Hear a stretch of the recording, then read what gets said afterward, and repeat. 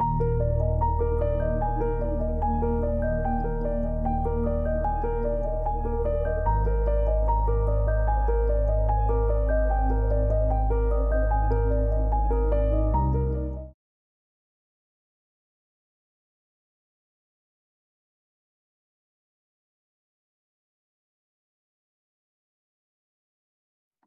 Hi all, welcome to Atmospheric Evidence uh, recorded discussion as part of Monash Art Design and Architecture and Monash University Museum of Art's Warp Tones content series.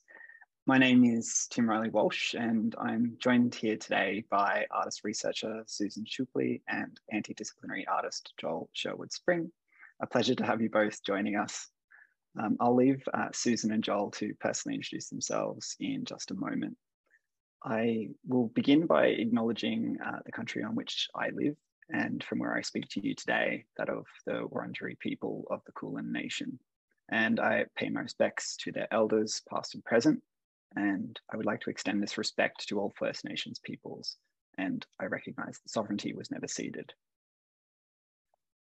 It is my pleasure to host this discussion today uh, as the 2022 Curator in Residence within Monash Art Design and Architecture, Monash University here in um, Melbourne. And in addition to my work at Monash, I'm also currently the curator at Gertrude, also in Melbourne. And my research interests are focused on how visual culture comprehends and articulates the threat of climate crisis and the central implication of settler colonialism within it. For access reasons, I will briefly provide a visual description of myself before asking Susan and Joel to do the same. I am a white cis man with slightly long red brown hair, red blonde hair rather, and I'm in my mid 30s. I'm wearing glasses and I'm wearing a bright red knit. I'll now hand over to Susan and then to Joel to provide visual descriptions and a brief, more personal introduction to who they are and where they are based. Susan.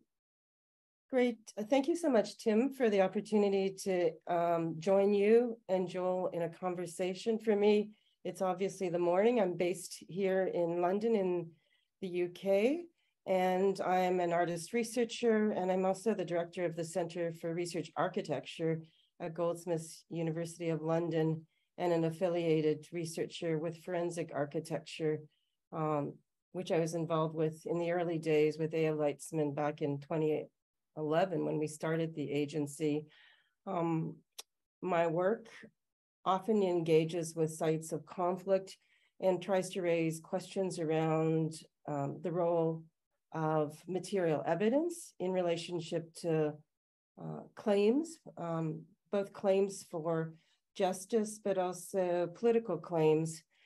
Um, a brief visual description of myself would be I'm a relatively tall um, woman with short hair. Um, I'm wearing bright sort of neon orange glasses right now, and I have a backdrop of a uh, 3D um, sort of glacier, actually, which is my backdrop image for Zoom, and that will make a little bit more sense as, as this discussion um, unfolds. And also, um, I'm both uh, Swiss and Canadian, and my, so my work really has taken me into uh, cryospheric environments most recently, that is to say, the frozen geographies of our planet.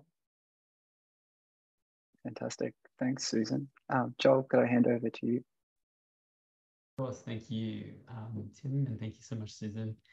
Um, I'm streaming to you from the unceded lands of the Gadigal people of the Eora Nation, who have practiced their sovereignty and law on this land, commonly known as Sydney, um, since the first sunrise. Um, I want to acknowledge their endless and continuous care for country. This is the place that I was born, um, and I still call home. Um, and in doing so, I want to pay my respect to the Gadigal people, their ancestors in their struggles through frontier wars, and their elders, present and future. Um, it is upon their lands that I undertake my work as a designer and a researcher. Um, and these are stolen lands for which uh, treaty uh, nor sovereign agreement has ever been negotiated. Um, my name is Joel Sherwood Spring. Um, I am a Wiradjuri um, anti-disciplinary artist. Um, I generally work pretty collaboratively on projects that I would say maybe sit outside the kind of established notions of contemporary art and architecture, um, attempting to kind of think about and kind of trend through discourse and pedagogies and um, artwork and design and kind of uh, in the past a, a more formal architectural practice and sort of currently and sort of continually kind of focusing on the and examining the kind of contested narratives of Australia's urban culture and Indigenous history in the face of ongoing colonization. Um, I am a uh, white-skinned uh, man um, in his late 20s. I'm wearing a pair of silver-rimmed glasses um, and headphones. I'm wearing a navy blue uh, parka. Uh, and behind me, my background image is similarly to what Susan said, may make more sense in the future in the later half of this chat, but who actually knows? Um, but it's a sort of a collage of a set of um, scans of, of, smoke clouds that I've been taking um, as a part of a kind of ongoing project of documentation of some of the work I've been making, which um, yeah, I'll probably go into a little more in this discussion. Awesome. Thanks, Joel. And thank you, Susan. Um, to provide, provide some framing for uh, today's discussion, I thought that I would just begin um, shortly, just for you know, five minutes, to talk a little bit about One Vast Library, which is the project um, that Susan and Joel's work is shown within. Um, and once I've done that, I'll sort of pass back to Susan and then to Joel to talk individually about their work and their research and its intersections with this idea of atmospheric evidence. Um, and then we'll open it up to a bit of a wider discussion at the end, which will go for about 15 or 20 minutes. Um, this semester of form time content is first mentioning is structured around the theme of on care. Um, today's talk will consider care to an extent via a, maybe a deeper attunement to the atmosphere and also a sense of justice uh, towards the planet, and maybe ask whether art could assist in this process. And we'll think about art as a form of evidence, perhaps, and the possibility of it bringing about, um, as I said, some justice for the planet. One Vast Library is a series of three exhibitions. One's taken place um, so far. The second will be opening uh, very so shortly, um, as well as some accompanying events and publications. And this will be presented across 2022 at MADA Gallery. Um, the project's title is drawn really from the writings of uh, the 19th century English mathematician and early innovator of machine computing. Uh, his name was Charles Babbage, and he described the atmosphere as a shared repository of human experience.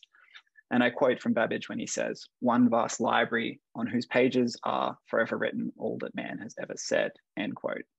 So this idea of the air as an increasingly dense accumulation of human voice and breath, and of course, the fume of anthropogenic emission really frames this program. And obviously within this notion, I would like to acknowledge the significant knowledge and law held within Sky Country for First Nations peoples on this continent. Babbage was undoubtedly millennia late to the recognition of the sky as a rich resource of learning about the processes of the world and its environments. And this is a space in which culturally specific knowledge is deeply embedded and must be importantly protected and cultivated. One Vast Library aims to articulate really a changing relationship with the atmosphere in the context of climate crisis. And it's the hope, at least for me, is that this demonstrates a fluctuating representation across late 20th and early 21st century Australian and international art. As we might hear today, this is what Susan describes in her recent book, Material Witness, as a form of proxy data non-scientific materials that may act to reveal new understandings of complex events, such as global warming. So this process really began with the first show, Diachronic Wind, uh, which was presented earlier this year. And in this show, I was reading a little bit of the work of Andreas Malm and his book Fossil Capital, where Malm described the messy mix-up of time scales at the heart of anthropogenic emission, how violence across, uh, against the planet can really be extended in its temporality, dispersed and lagged, and also stubbornly non-visual. And of course, when we think about these ideas, one should really reflect on the writings of Rob Nixon and his term slow violence. This discussion today and the second exhibition Impermanent Shelter that accompanies it, which Susan and Joel's work is within, is grounded in these contexts and also specifically starts to unravel one of the quieter threads in this program, which is that the this the how air and atmosphere is kind of repeatedly implicated in the work of dematerialized practices in the mid 20th century. You have to think of artists like Robert Barry or Art and Language, Michael Asher, to name a few. And this show, though, specifically really looks to one figure, Yves Klein, uh, the French artist, um, a proto-conceptualist, and um, a figure that really preceded this kind of uh, later kind of conceptual work. In 40, 1946, Klein, of course, symbolically signed the sky, a gesture that I feel speaks deeply of a really curious um, and telling hierarchy of man's ownership over such a vast and complex system. Klein's pursuit of the immaterial led him to work with architects Werner Ruhnau and Claude Parent on conceiving his air architecture from 1957 to the year of his death in 1962. And Klein's proposal suggested the creation of, I quote, a new Eden, where the solid materiality of architecture is done away with and is now immaterial ceilings made of pressurized air, walls of fire, and humanity's only pursuit as leisure. I find it really curious um, that Klein's vision of utopic, utopic society from his position in the mid-century consisted of the very elements of air and fire that's out, that society is now beset by, an atmosphere really grown dangerously agitated by carbon dioxide emissions and an environment where devastating bush and forest fires are growing in frequency and scale and of course, within so-called Australia, a place where the dominance of settler colonialism and its ingrained structure of Torrens title, property demarcation, and occupation of unceded lands is far from immaterial. In fact, in many senses, violently physical. The second show's title, Impermanent Shelter, intends to try and encapsulate these positions, acknowledging perhaps too the now impermanence of the shelter that the planet has offered us to date, brought about by human interference. Both Susan and Joel's work is exhibited within the show and will be touched on today in this discussion and really elucidate these kind of points a little bit further. But of course, our conversation will diverge to look at other projects of theirs that are relevant as well.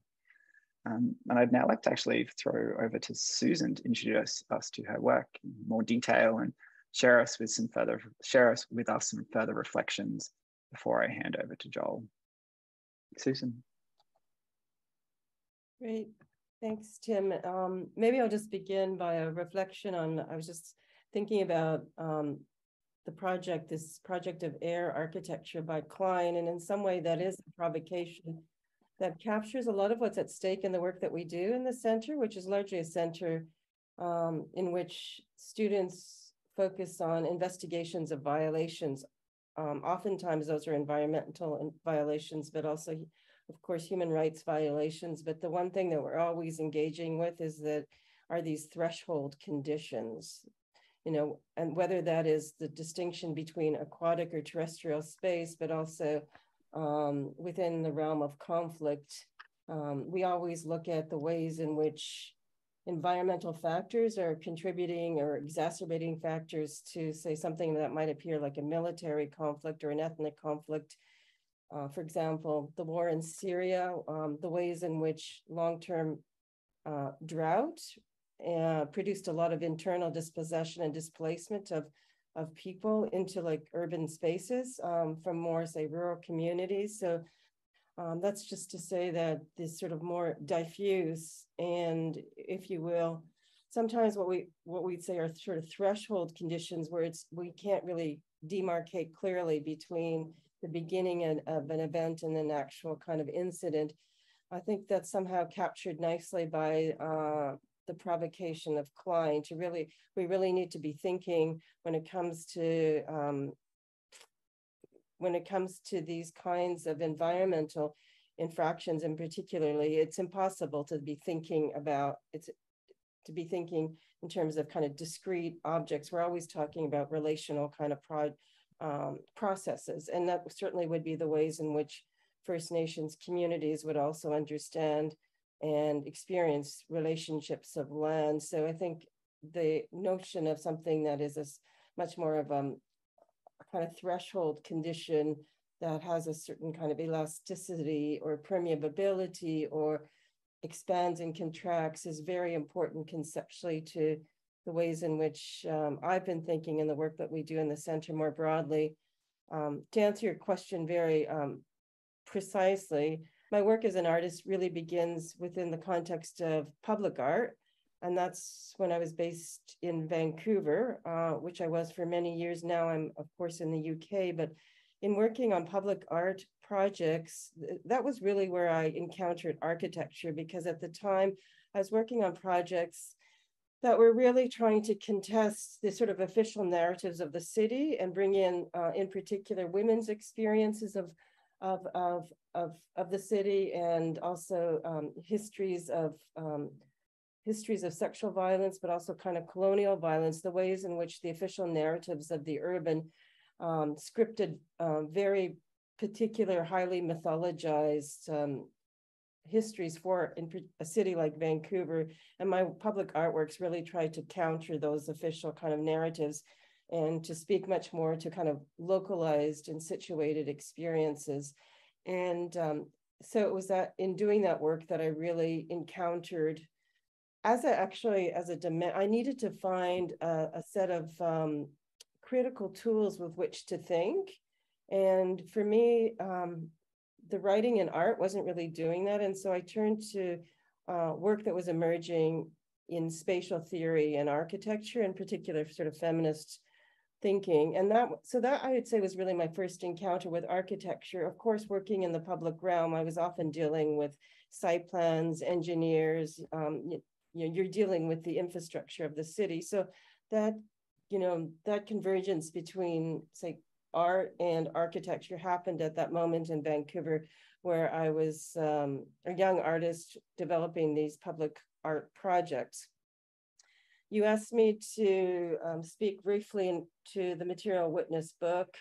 Um, that comes much, much further along in my practice. At, um, it, it emerged out of my PhD. That's really where I was developing the concept of the material witness which is really trying to look at the ways in which matter registers events, uh, but also provides insight into the uh, event of evidence making. And so the book will look at who and what is considered a legitimate um, subject able to confer or who, you know, who or what can speak on behalf of their experiences. Um, this really comes to a fore within the context of um, climate change as far as I'm concerned, because up until very recently in the Canadian context, uh, environmental scientists largely completely ignored uh, First Nations knowledge or Indigenous knowledge of long-term climate observations. So there's, you know, there's a very um, obvious example of the ways in which only certain subjects are endowed with the legitimacy to speak on behalf of their condition within particular kinds of forums, like the IPCC, for example. Mm. So the book really tracks materials and the contestations that emerge around materials and the and there's various stakeholders that also um, gather around these contested materials. It largely focused on um, situations of international law. So it, you know, its framing might be considered critical legal studies.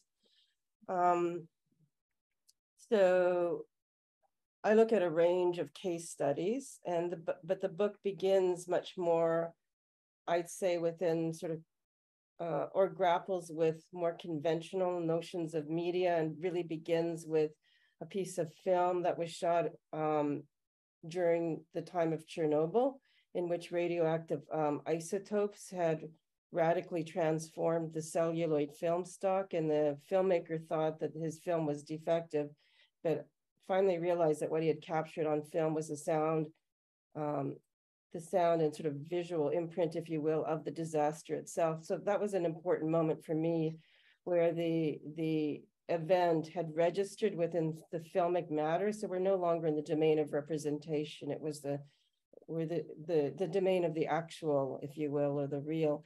Um, by the end of the book, I really um, start to expand considerably my notion of what constitutes a kind of mediatic system and look at sort of um, what I call, or trying to propose this notion of earth evidence and really look at the ways in which the planet itself is a sort of geometeorological kind of entity completely encrusted with um, technologies of capture, recording, sensing, transmission, etc.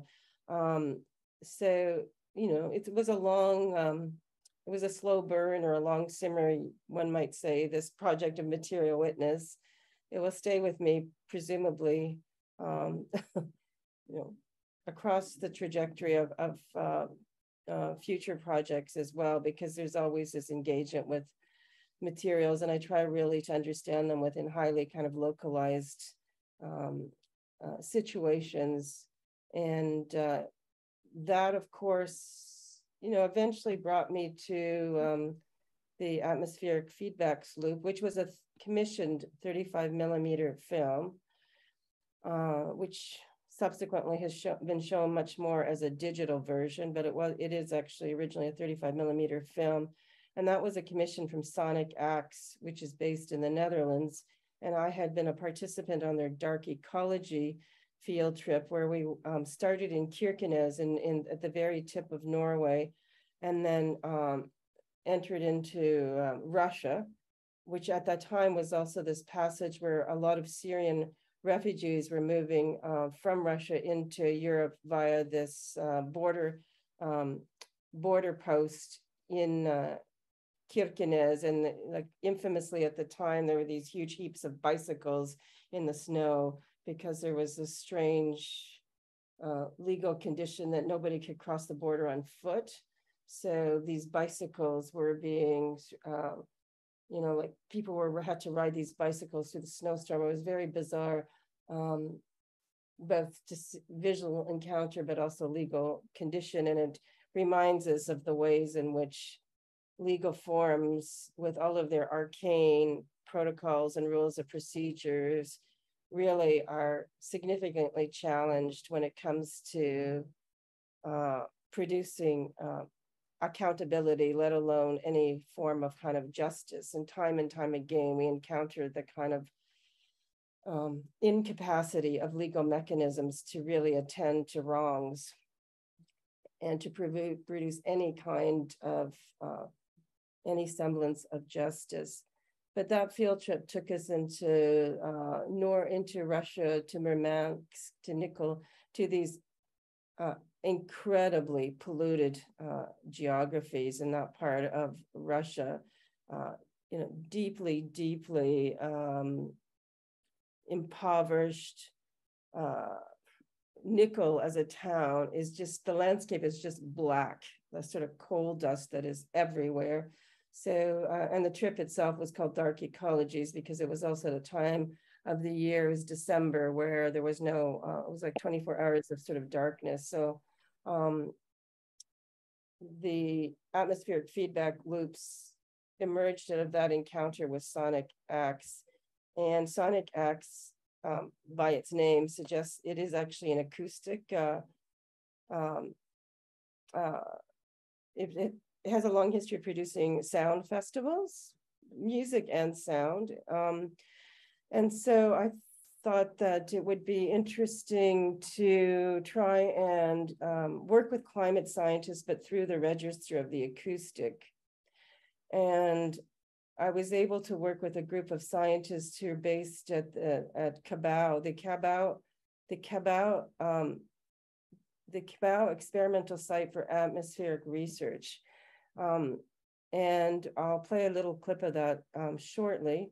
But just to say that um, they have a lot of acoustic instrumentation that they use to measure and monitor the atmosphere. And I thought this is really where myself as an artist, very interested in acoustics, could meet the climate scientists. And we certainly shared the same language because they would talk about clouds and, you know, and, and atmospheric noise. They talked about the signal to noise ratio and the ways in which they had to extract the signal from the clouds. So, and so a lot of the, um, I realized, wow, the we're working with similar kinds of technologies, uh, both, you know, they're working from the infrasound, you know, from the realm of infrasound up. Um, and also the the language that was being used was the same sort of language that I would use, but obviously for very different kinds of um, purposes. So I've often seen my work, uh, just to wrap up, I've often seen my work in some way as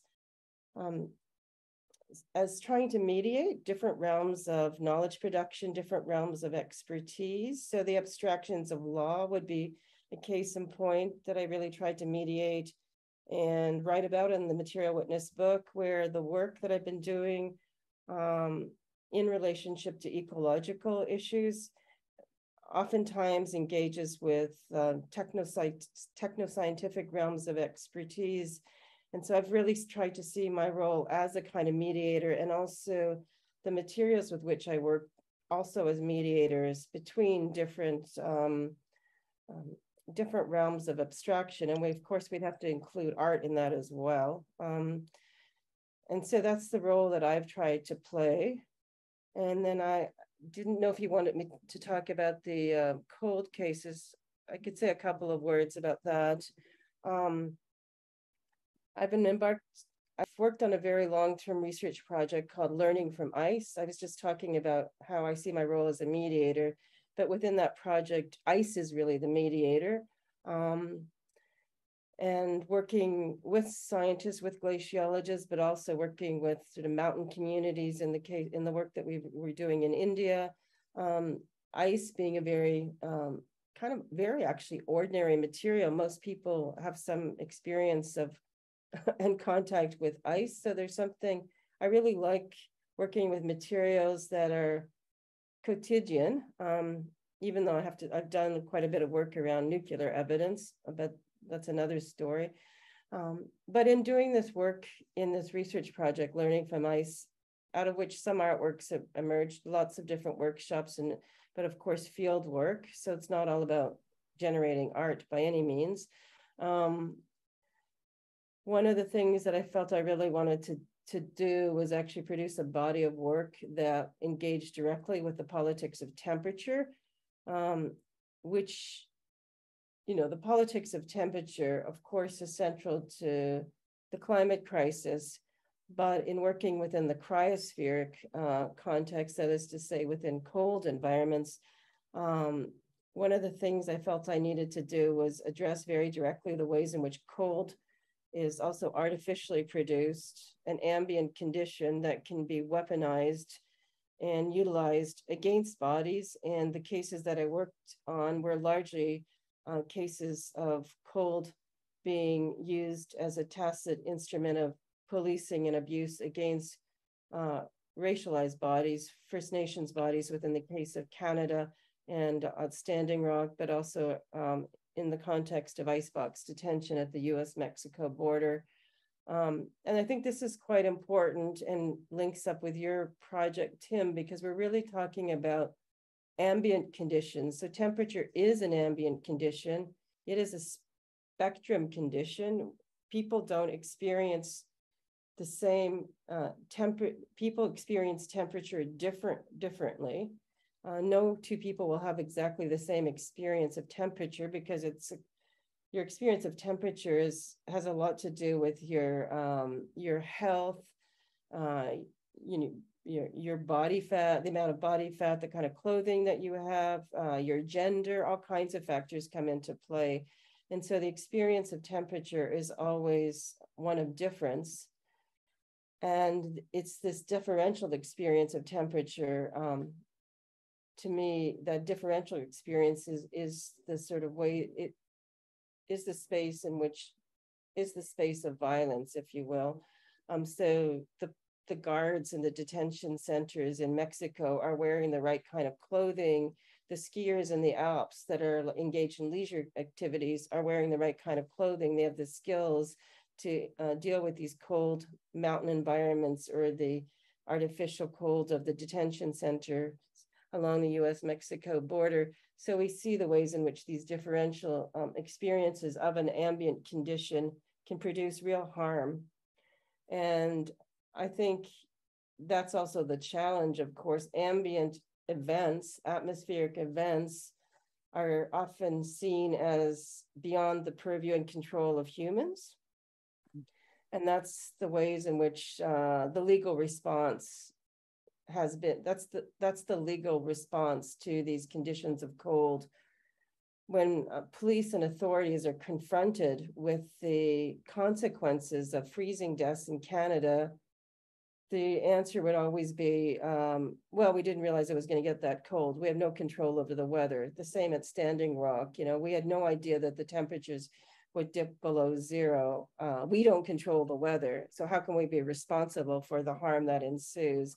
And so we really see the ways in which these sort of ambient events and atmospheric events produce this very um, kind of useful alibi in terms of regimes of accountability. And so my work with the cold cases was really to counter that uh, that condition and to look at a kind of pattern of abuse that emerges over many, many decades and over many contexts, including the context in which I live now, where migrants are perishing and dying of hypothermia in the European context when trying to cross between from Italy into France across the Alps or in between Turkey and Greece through these um, river deltas. Um, so that gives you a little bit of um, a context for the the work that I've done and, and where I am at now with my research projects. Thank you, Susan. Um, lots for us to um, unpack there, especially I think um, a discussion perhaps uh, near the end about this kind of, you phrased it as the useful alibi of um, humanity's uh, sort of sense of um, atmosphere as being beyond the purview of um, human control and its weaponization, which I think is a very telling and uh, poignant reflection. Um, but before we kind of discuss um, and open that up a bit more, I'd like to pass over to Joel to just introduce a little bit more about his practice. Joel. Uh, thank you, Tim. And again, thank you so much, Susan. I, there's um, so much resonance between um, a lot of the things you've mentioned and probably where I'm going to take this um, discussion as well. Um, first, I'd, wish to sort of frame my practice um, in relationship to this and sort of participating this within a larger framework I'm sort of negotiating and learning how to employ art making and exhibitionary practices and publication and, and discourse and the teaching that I do within what is like largely recognized in the international academic space as like Black or Indigenous studies. Um, and for me, it's sort of in the efforts of exploring the potential of um, an Indigenous uh, and, and, and situated um, sovereignty specific. So maybe thinking about it through my own subjectivity as a Wiradjuri person living in, in Gadigal country, but what an Indigenous materialist reading of art and architecture um, creates, um, kind of directed towards um, the efforts of uh, repatriation, reparations, and land back. Uh, so, so that's that that's the way of framing what I do. Um, maybe not what I've done um, so much as I what I'm sort of interested in in pursuing. I'm currently engaged um, and commencing a PhD at the University of Technology here in Sydney, um, where I'm working with um, both architecture and legal scholars um, to look at um, how we talk about uh, materials within the context of extraction in the Australian kind of context, but more globally, how uh, buildings themselves come into being.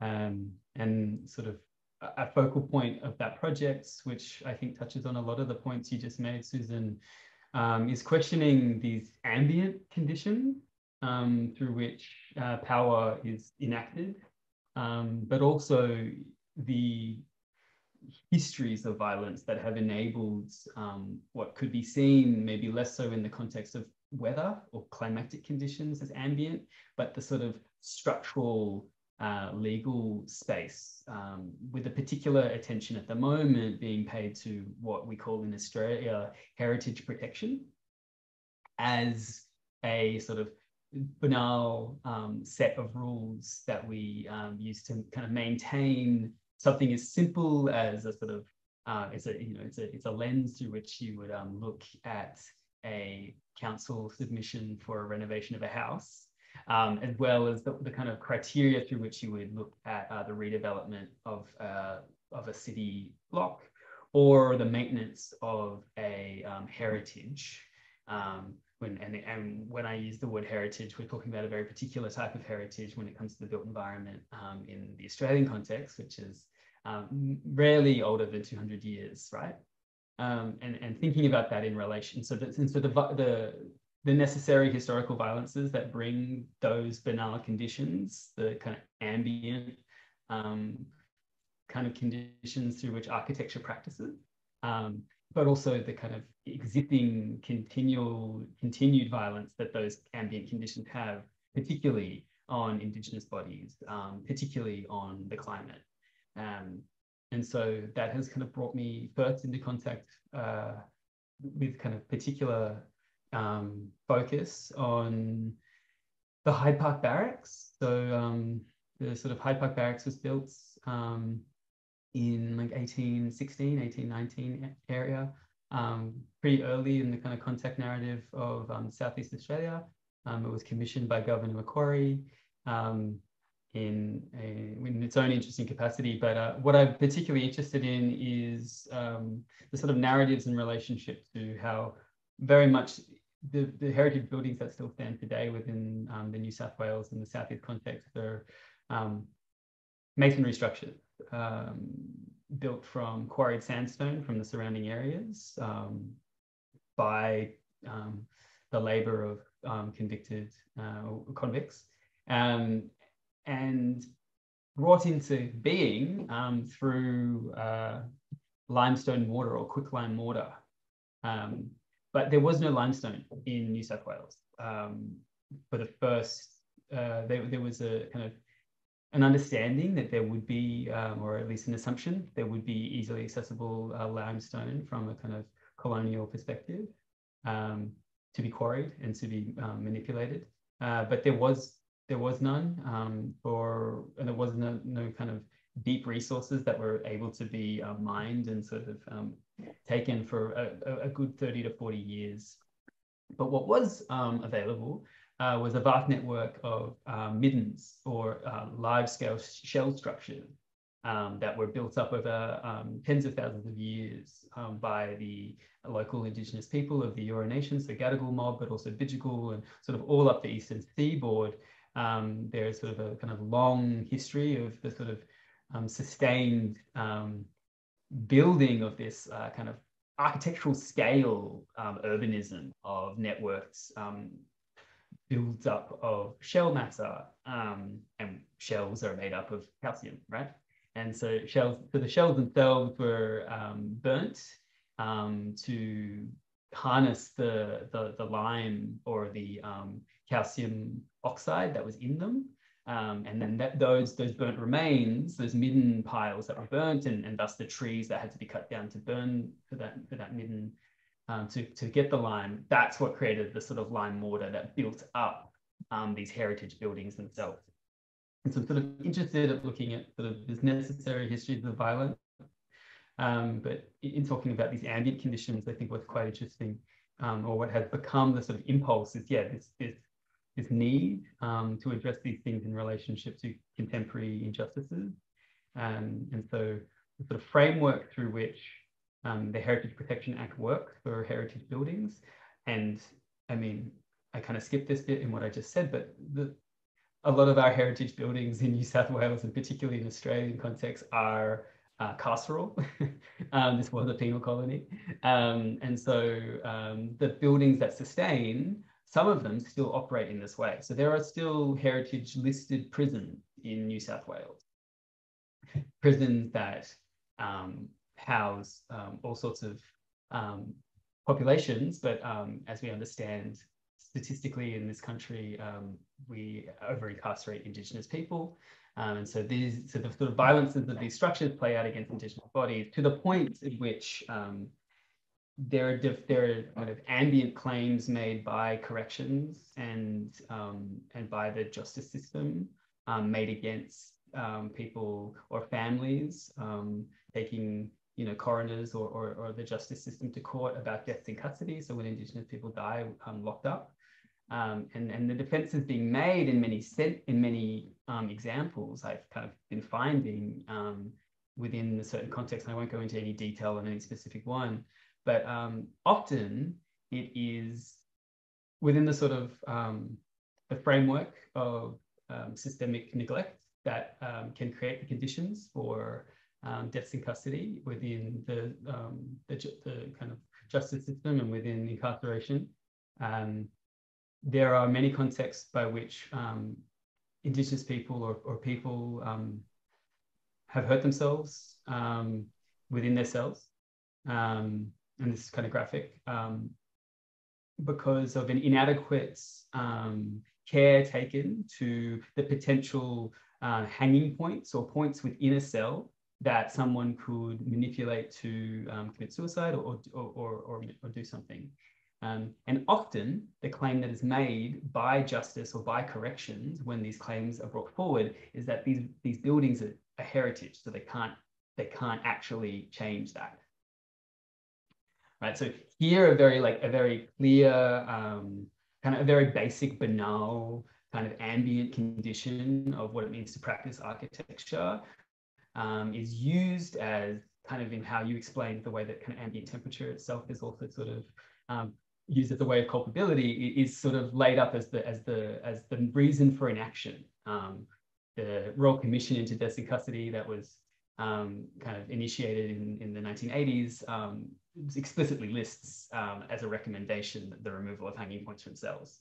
You know, and so um, it is it is uh, something that the legal system can point to, but is also something um, within the heritage framework that the um, justice and kind of policing can point to as a something they cannot change, right? And so looking at the kind of the, the, the real violences in which these kind of powers come into um, is sort of something that I think really resonated with what you just mentioned and maybe isn't particularly um, connected to um, this exhibition right now, but it is sort of the ongoing thread in which I sort of engage with the sort of material research and material sort of inquiries of my own practice, um, and to and to sort of speak more fully to um, maybe the sort of research. I mean, on the back of that, the sort of research around an existing work is what I am presenting um, at the Monash. So so. Um, I was commissioned by the National Gallery of Australia um, for the latest, um, the which is still open, the latest um, fourth Indigenous um, art triennial called Ceremony, which was curated by Hetti Perkins. Uh, I have a set of works in that show, which was sort of a, a, kind of outcome of a process by which I was working and connecting with communities who had experienced, you know, like large scale devastation after the 2019-2020 um, bushfires. Um, in the beginning of 2020, I went down to um, a, a, place called Rosedale, which is a coastal town situated on in Yuin country, um, south of Sydney, um, where uh, about 50% of the housing stock was lost. Um, and, and, and this is the kind of common um, condition between lots of communities across the sort of eastern seaboard um, in amongst those bushfires. Not to, I mean, I'm, I'm going to get to the, the other factors, but sort of housed within my own context as a working within the architecture faculty, we went down to talk to residents and to, I saw it as an opportunity to um, investigate what we all sort of understood would be the condition, which is that these houses were, these, these communities were built at a time where there were different regulations to fire safety and the ensuing uh, regulations or the existing regulations was going to see the communities built back in a very different way. And what that was going to do was going to have a very detrimental effect on any sort of ecological um, well, it was going to vast, it was going to kind of de destroy any chances of any sort of ecological system um, coming back into any sort of, um, not that there's balance, right, but that there, there, would be something to return to. Um, and also for me was a kind of advantageous opportunity to sort of try and engage with um, existing local community members around how in this moment they could maybe stake a claim in relationship to um, this land and what that might mean um, in the context of, of, of, this devastation. And so it became very quickly about how we talked about the relationships to um, that land, that property, be it private property um, that was lost by um, landowners, you know, predominantly white people living in other places, like these were holiday homes, um, and and and how kind of that friction came up against the sort of you know continued and denied claims um, of local and indigenous councils and, and, and indigenous groups in those areas, um, but also as an opportunity to highlight that you know these fires were 200 years, 250 years in the making. It's kind of systemic neglect um, that brings these kind of conditions into being, private property and those sorts of relationships, but also an ongoing um, relationship to what would be understood as an unhealthy country. Um, you know, even growth conditions are what create the sort of leaf litter that um, let these fires happen. Um, and obviously, with the work of people like Bruce Pascoe and Bill, Gab- um, Bill Gammage, um, the greatest estate on earth, we can uh, like and and and kind of continual practice evident to this day from Indigenous communities across the continent. Um, there was never a separation. There was always continual care, um, and it was this kind of this condition um, or this nostalgia for an unhealthy place that unfortunately the people who were in power to make decisions about these places, the property owners, the councils, had um, was coming into direct conflict with kind of historical and, and, and contemporary claims made by Indigenous people that there needed to be active engagement with this place and active care and burning as um, active sort of cool burning and burning seasonally to um, ensure that there was a kind of healthy balance, if you want to if you want to name it that, um, in in this context. And so quickly became uh, investigation and how to talk about these relationships um, in a context in which, and maybe I can share screen, um, in a context in which um, there was only, I guess, what we would call a sense of uh, absence. Um, right. As you can sort of, you know, this is the this is the context of a few, like a month or two after the bushfires, um, up and around Rosedale, um, as, as across like most of kind of Yuin country in that area, Mogo Land Council region, so just south of Batemans Bay.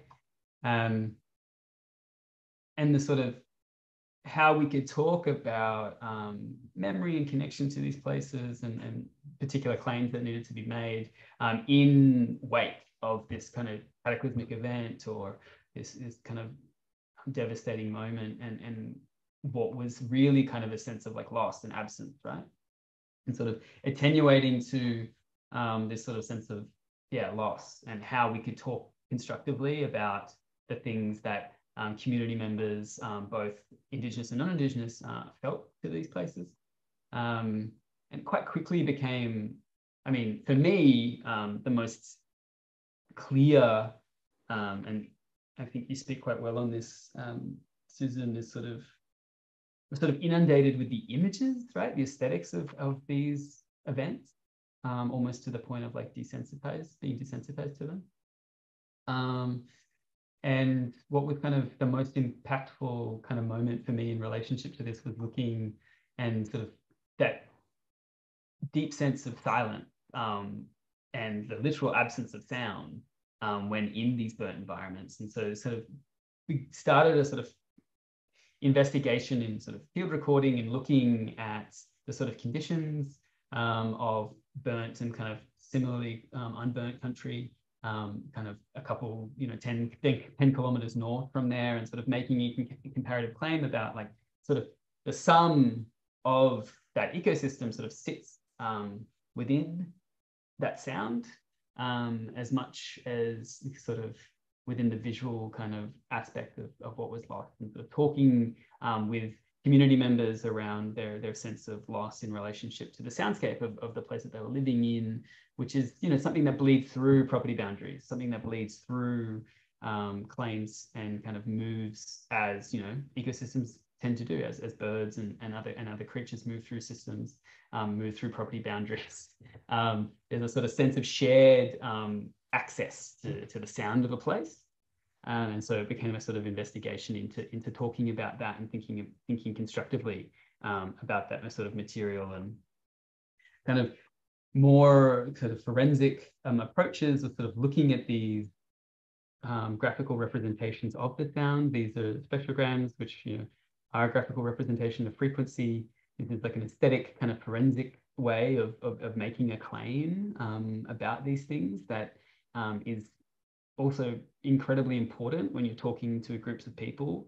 Um, it's much harder to get them to listen to a thing, um, easier to make these claims when you have a visual representation. Um, and sort of thinking about these kind of relationships and in sort of field work to look at these. Um, and, and, thinking about what processes could be enacted uh, with communities to begin to um, make these steps towards caring for country and what that might look like, um, which kind of culminated in this project um, at the kind of commission end with the NGA. So after working with community members um, and kind of locating with a, a few um, different communities um, on Yuin country, um, talking to them about the very necessary steps that they would need to take to begin to kind of care for country and um, reintroduce kind of traditional fire management was something that was quite antagonistic to the sort of yeah the, the the very understandable relationships that the property owners had to these places, which was to um, you know indigenous fire practitioners wanted to cut down trees, they wanted to clear um, parts of land that they could allow for um, regrowth, which was quite antagonistic to um, you know people who had existed in a place where they'd only ever known a place to be even growth and kind of un- unhealthy.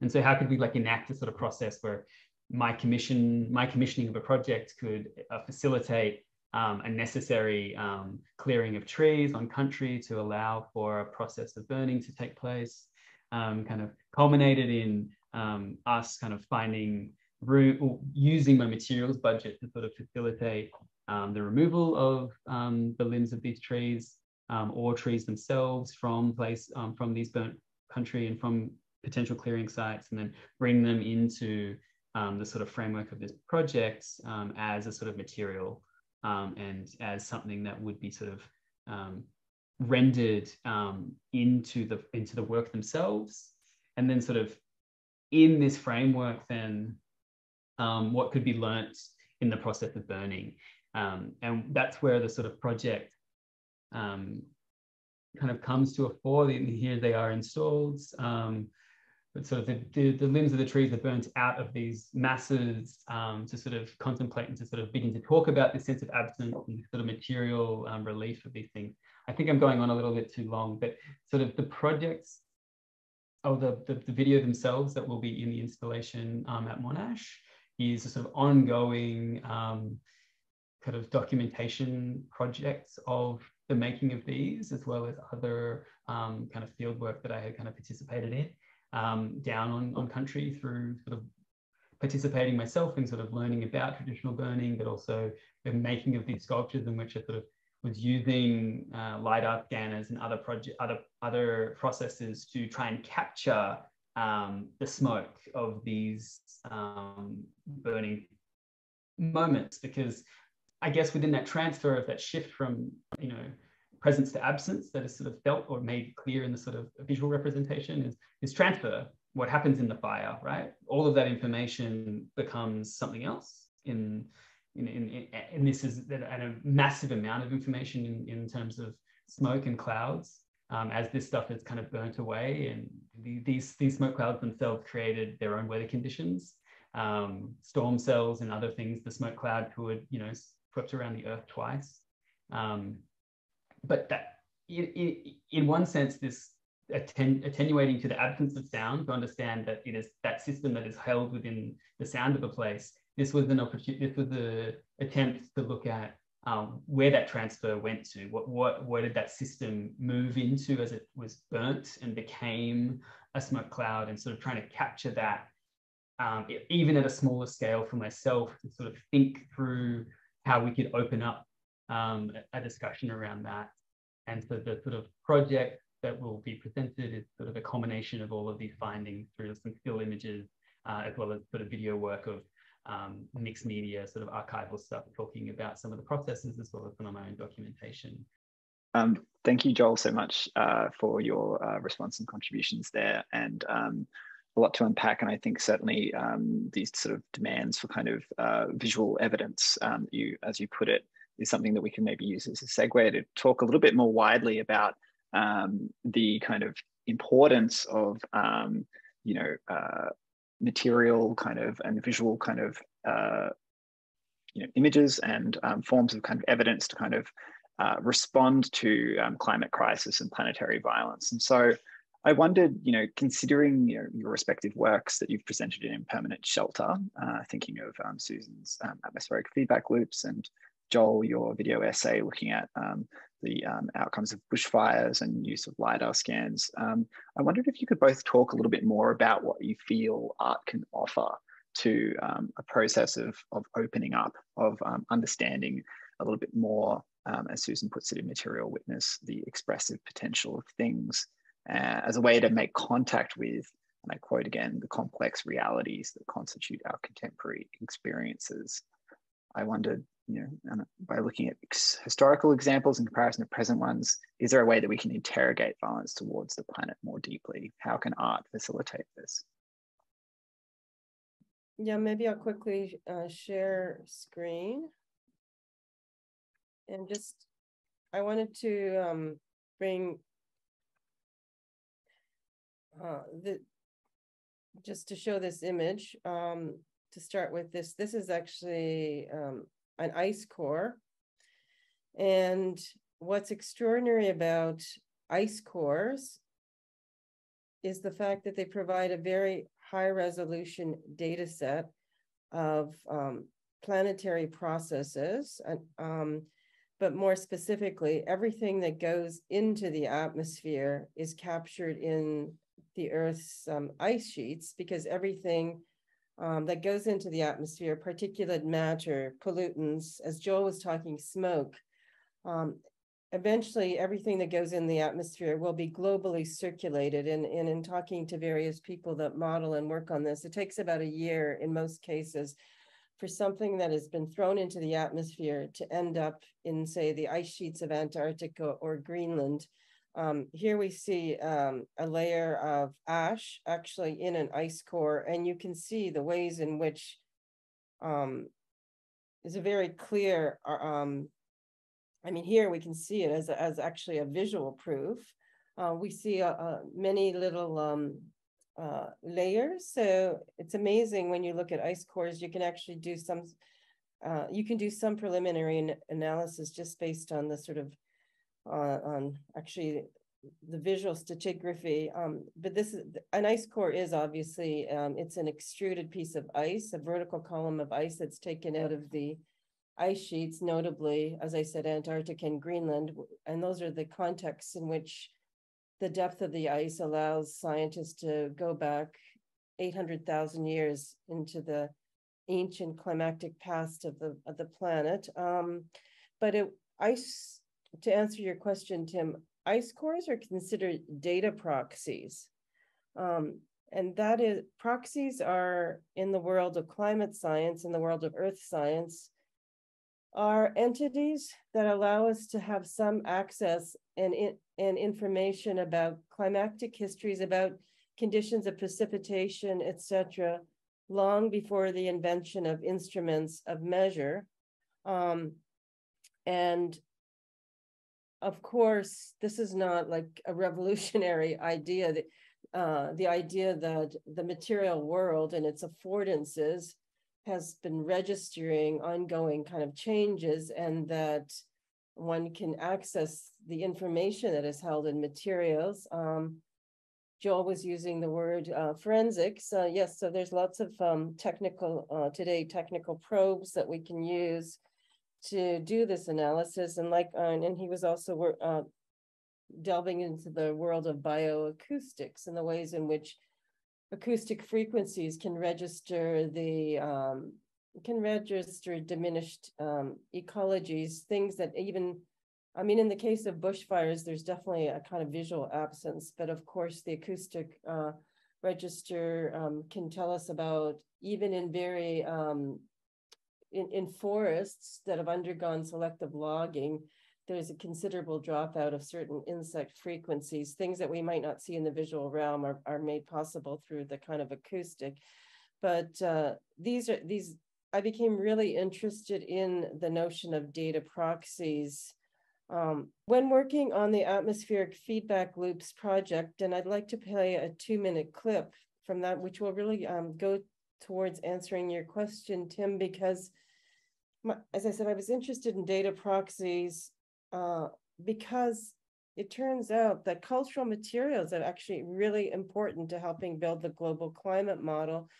And so if you don't have if you don't have data from uh, instrumentation, where do you go? Where do you turn to find out something about um, temperature, something about atmospheric conditions? what would you look at? Well, you could look at things like um, shipping reports and farmers' almanacs and um, but in particular, you could also actually look at cultural materials. And this um, this was the case with the scientists working in the Netherlands because of the fact that the Netherlands at a certain point was a real hotbed of like landscape painting and hundreds and hundreds of paintings were done by painters who weren't moving very far geographically often like just uh, paint you know they were just developing paintings in their kind of local uh, rural villages. So you have this extraordinary bounty of dutch landscape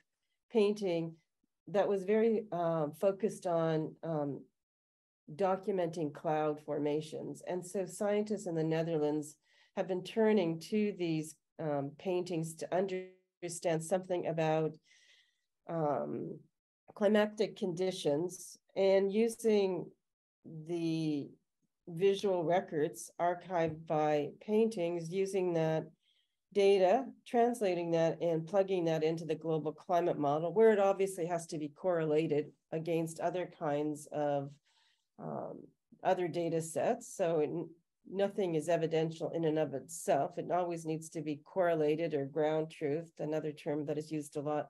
Um, but let me play that two minute clip because I think that'll make, uh, that'll be in some way also self-evident. Just play that.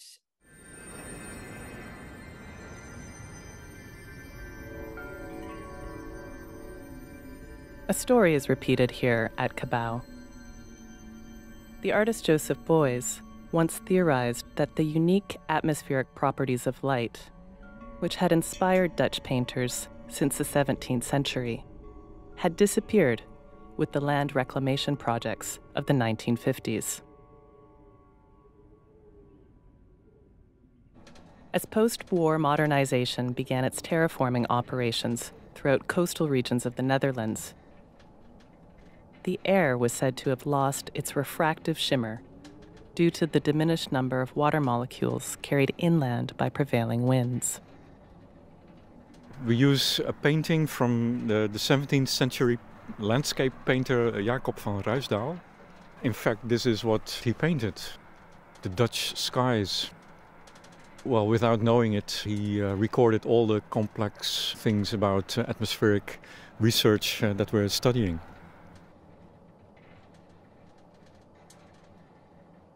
The scientists conducting research here are recording even more dramatic changes as atmospheric feedback loops between land, sea, and air reveal long term amplification of climate change signals.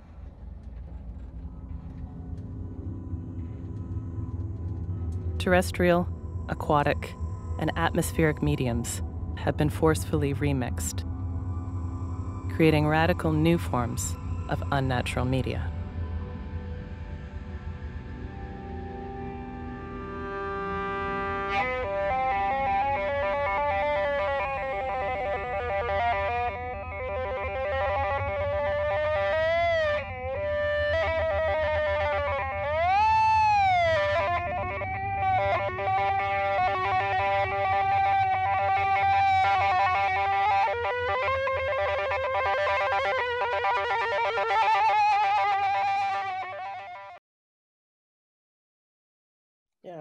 Just to, um, so that's one way in which I think cultural materials, and they could be artworks, it could be works of literature, they, they can actually play a very kind of useful role. And, you know, like, so I found it like I might never have thought about these paintings, but now there's also, uh, in some way, there's a ways in which the a certain kind of contemporary demand um, forces a sort of re-looking at something and you look again and uh, other things sort of come to the fore so i found that re- always really interesting the sort of looking again at historic materials for with uh, a different kind of objective and so that's one very i think pragmatic ways in which we can think about sort of culture materials or artworks as um, mm.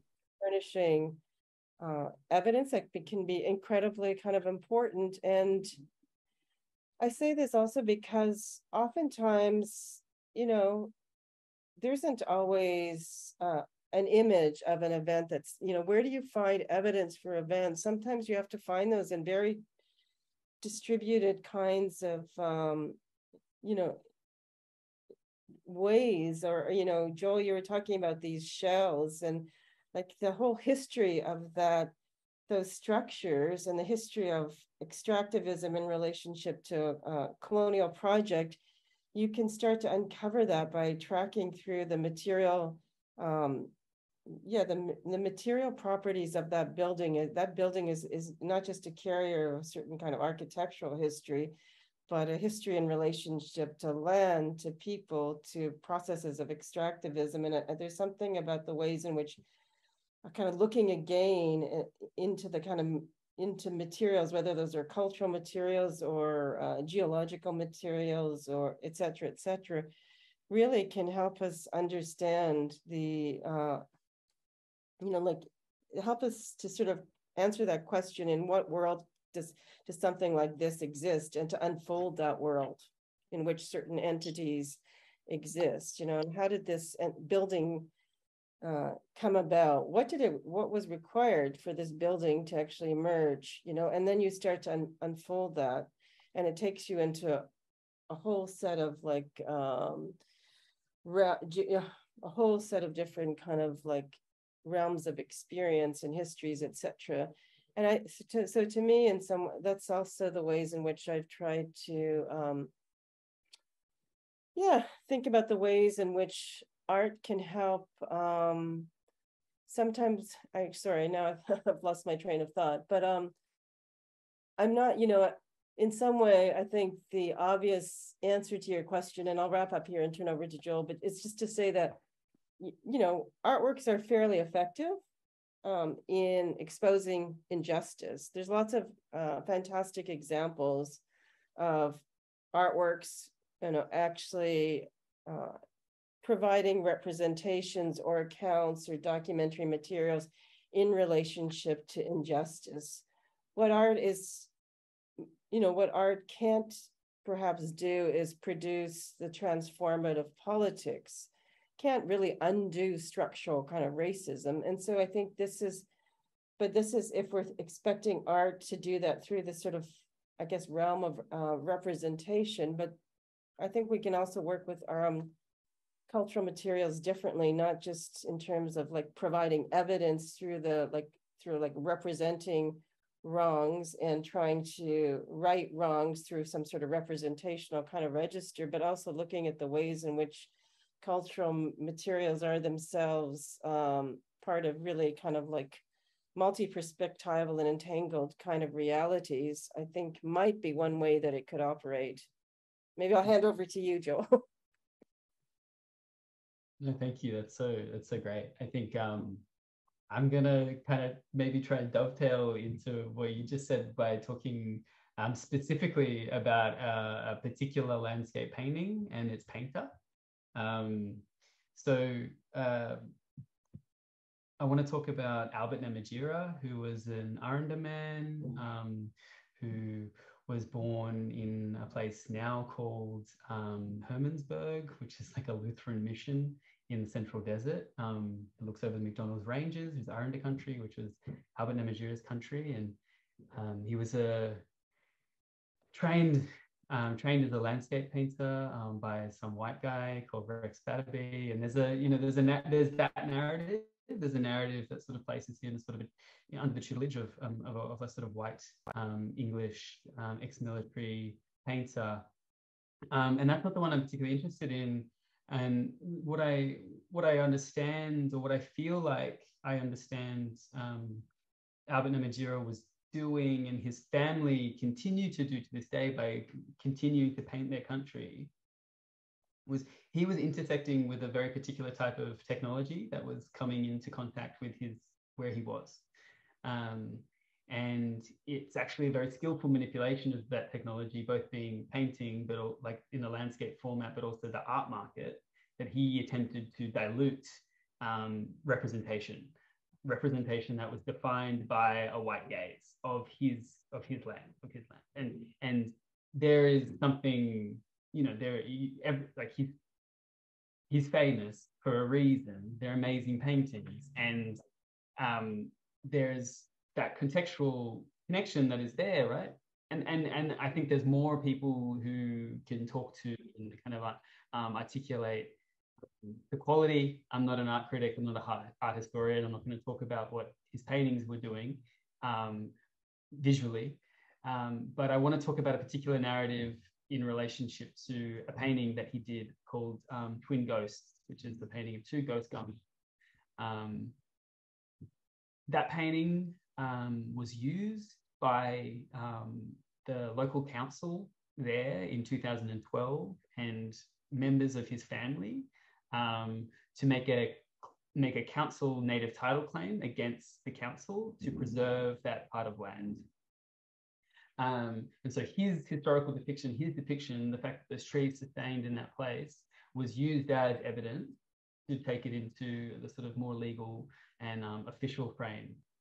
Um, the very unfortunate um, and very and very like unsurprising reality of, of, of that happening um, in the Australian context, especially in the context of the Northern Territory or what is now the Northern Territory on in, in the Aranda country, is that um, over the, the court hearing in which the decision was being made was adjourned because it was over the December break, over the sort of Christmas New Year's break.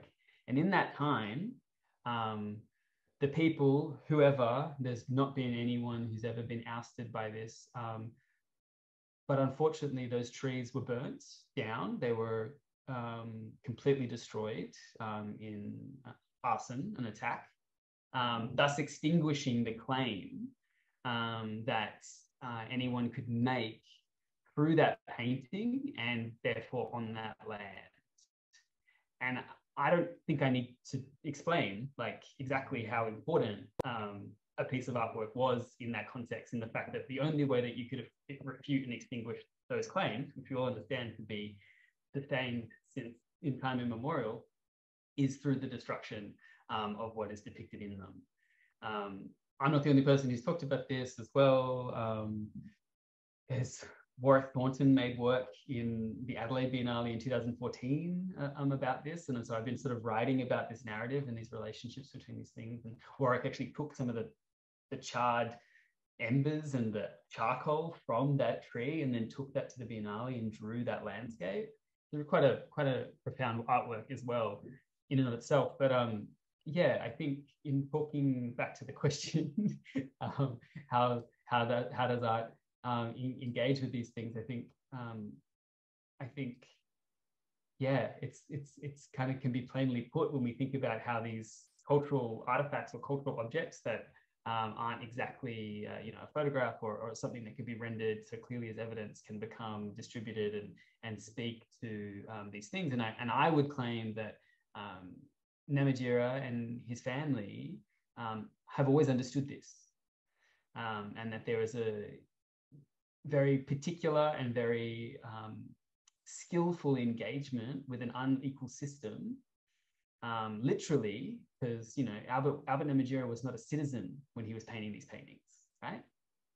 That's why he wasn't awarded. That's why he wasn't given his his copyright claim. That's why his family had to fight for the last 50 years for the retrocession of his copyright claim because he was not considered a citizen. So there's also this like engagement with this unequal system where um, a painting that you might do is worth more than your than your life.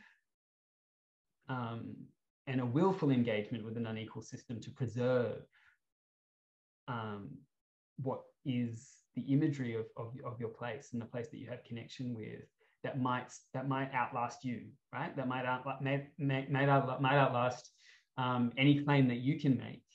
Um, but if you can find a way to engage in a system um, that is, you know, finding ways to financialize and, and, and circulate these objects, then something might sustain in, in that in that context. And I think that that's that's a that's a that's a narrative I think that is shared amongst many Indigenous cultural practitioners historically for hundreds of years, um, not just in the Australian context and just in Albert Namatjira's context. I think um, the sort of engagement with an institution at that level um, and the sort of their understanding that well, maybe it's not even worth calling it art from that perspective, right? Like it's actually it's it's it's much more, and it, and it can and it can facilitate much more. I think that's what I'll say.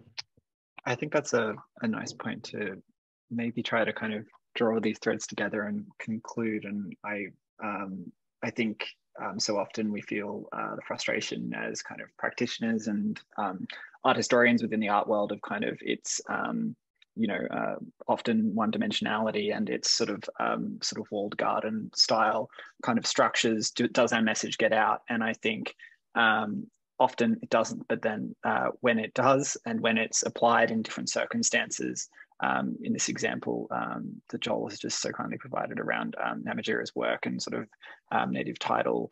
And um, of course, Susan um, in this discussion around, you know, um, Dutch uh, landscape painting and sort of its application for when data didn't exist for sort of atmospheric fluctuation and changing qualities of light. There are these intersections between art and between science and um, and art coming um, to bear on and hopefully provide some justice um, it's they are powerful examples and I think kind of really um, you know expand this topic. Um, I just wanted to thank so much um, both um, Joel Sherwood Spring and um, Susan Schuppli for their contributions today to atmospheric evidence and um, thank you so much and look forward to the next Form Times content.